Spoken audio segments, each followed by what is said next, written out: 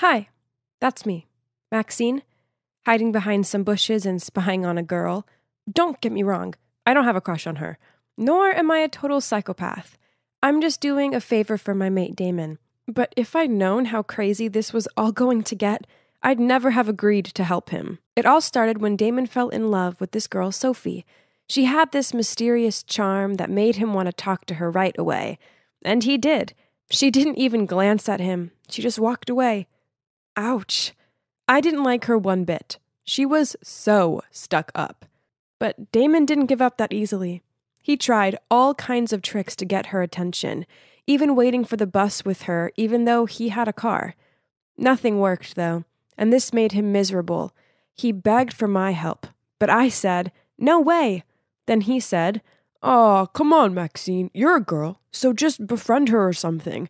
Maybe you can find out what she likes, her fave foods, music, etc. Then I can try to impress her. Please, I'm begging you. I'll even lend you my Nintendo Switch for a month if you agree. You can't say no to that. He had me at that. I'd do anything to get a Nintendo Switch. Fine, it's a deal, but don't blame me if it doesn't work. So, after class that day, I searched for Sophie. She was at the bus stop, and I was about to approach her when suddenly she walked away. I decided to follow her, and on the way, she stopped to help an old lady cross the road. Wow, I was surprised.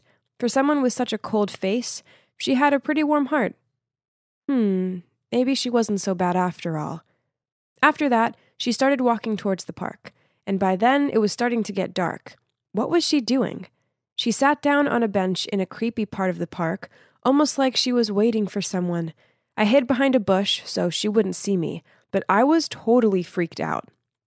Suddenly, two guys appeared and started talking to her, but they didn't seem like her acquaintances. Oh my gosh, she looked panicked. I had to help. I quickly shouted, Help! Officer! Please help! There are two guys bothering us! Obviously, there was no officer, but it worked.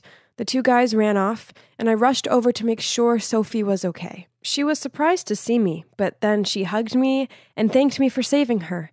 Her whole body was shaking. She must have been terrified. I walked with her back to our dorm, and she told me how she liked to come to the park at night because it was so peaceful.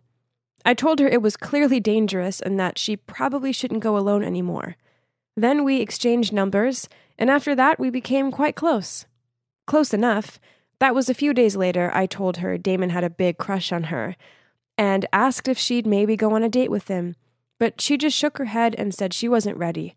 Her eyes looked sad, so I didn't push it any further. Maybe she'd just gone through a bad breakup? I didn't ask her again, but one night I was heading to her dorm for a movie night when I heard two people fighting. It was Sophie and some guy, and she was crying. It looked like the guy was about to hit her, so I ran over and said, Hey, what the heck do you think you're doing? Leave her alone or I'll call the cops. He just laughed at me and said to Sophie, We're not done yet. Then he stormed off. I asked Sophie if she was okay and who that guy was. Then she told me how he was her ex and that he kept trying to get back together with her, but she wasn't interested. As she told me this, she started to cry and said, Because of him, I've become so scared and anxious I'm even too scared to sleep at night. I felt so sorry for her and told her I was here for her and that she could call me any time. Well, maybe I shouldn't have said that because that's exactly what she started doing. Every night she'd call me and we'd end up chatting until 3 a.m. I was so exhausted, but I wanted to help her. She seemed so anxious all the time. Damon knew we chatted a lot, but he'd stopped asking about Sophie. It seems he'd lost interest and was more worried about me looking like a zombie from The Walking Dead. You seriously need some sleep, Maxine. Leave Sophie be. She's clearly got issues. It's probably best to not get too involved. Easier said than done, though. But that night I decided not to answer her call. I went to bed early, and when I woke up the next morning, I had about 20 missed calls and 50 texts from her. Oh my gosh! Some of them said she was so lonely and that I'd abandoned her. Then one said, If you don't pick up, then I will end it all. Okay, this was crazy. I immediately called her, but she wouldn't pick up. I rushed to her dorm, but nobody answered. I was panicking by then and bashing on the door, screaming, Sophie, open this darn door! But there was still no answer. I was terrified she'd done something bad, so I asked some students to help me bash down the door, and that's when she opened the door. I've never been so happy to see someone alive.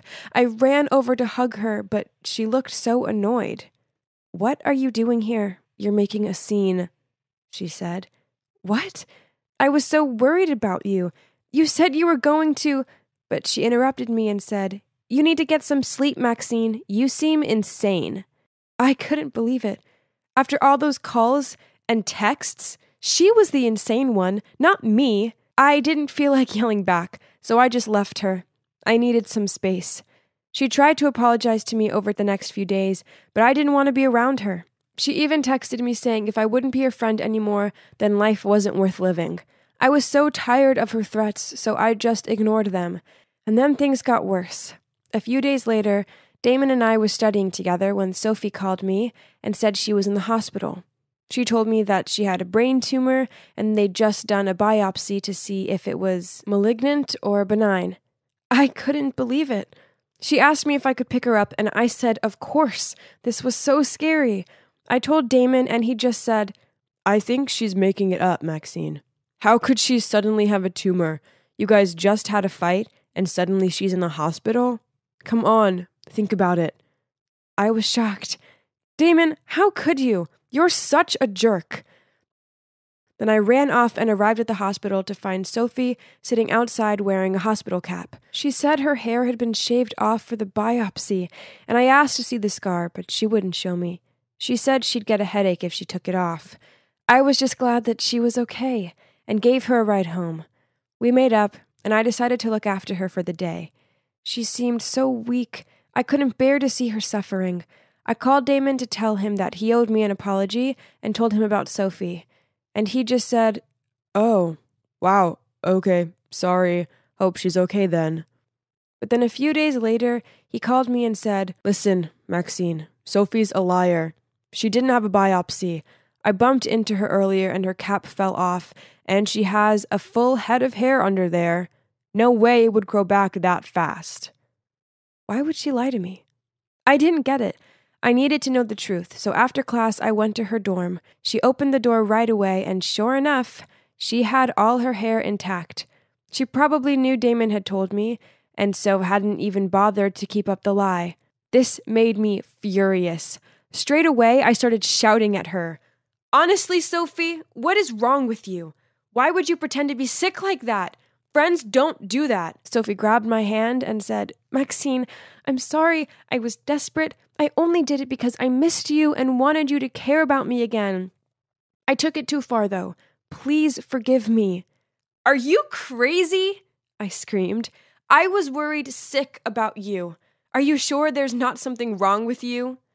Sophie started grinning in a weird way and said, The only thing wrong with me is that I'm in love with you, Maxine. She wouldn't let go of my hand, and I just stared in shock. what, what did you say? You heard me. I love you. Then she started to manically laugh and said, I've loved you since the day we first met. I knew you were following me, so I pretended to be in danger so you'd come rescue me. Even my ex boyfriend was fake. He was just one of my friends pretending. Can't you see? I'm willing to do just about anything to get your attention. If that's not love, then what is? This couldn't be happening. I tried to stay as calm as possible and said, Listen, Sophie, I'm flattered. Really, I am. But I'm straight. I see you as just a friend, okay? But Sophie wouldn't give up. She grabbed my hands again and said, How do you know that? You didn't even try to love me yet. Just give me a chance, and I'll show you what true love looks like. I tried to let go of her hands, but it was impossible. Sophie grabbed my hands tighter and tighter that it even began to hurt. She looked me in the eyes, and oh my God, it's like I couldn't recognize her anymore. She looked like a crazy person, like a psychopath. Then she began to speak in a really creepy tone. You can't get away from me. You're mine now. I was so scared. I needed to get out of here, so I pushed her really hard that she fell on the ground and I ran like a mad woman out of there until I was back in my dorm. Then I called the police, but by the time they reached her dorm, she was gone. I told them what happened and showed them a photo of her, and you won't believe it. Apparently, I wasn't the only girl Sophie had attacked. There were other girls too. After that night, I was terrified. Everywhere I went, it felt like someone was watching me. Then one evening, after my shift at work, I was walking through the park back to my dorm when I heard someone up ahead. I knew right away it was Sophie, but she wasn't alone. She was with some guys. They spotted me and started heading towards me. But I ran as fast as I could, and luckily the police were just outside the park and went in and arrested them. Sounds like a coincidence, right? Well, it wasn't. Sophie's not the only one who can fool people. I knew Sophie was stalking me, so I told the police, and together we created this plan to catch her and voila, it worked. Sophie, if you're watching this, I wish you all the best, but let's not meet ever again. That's enough stalking for one lifetime.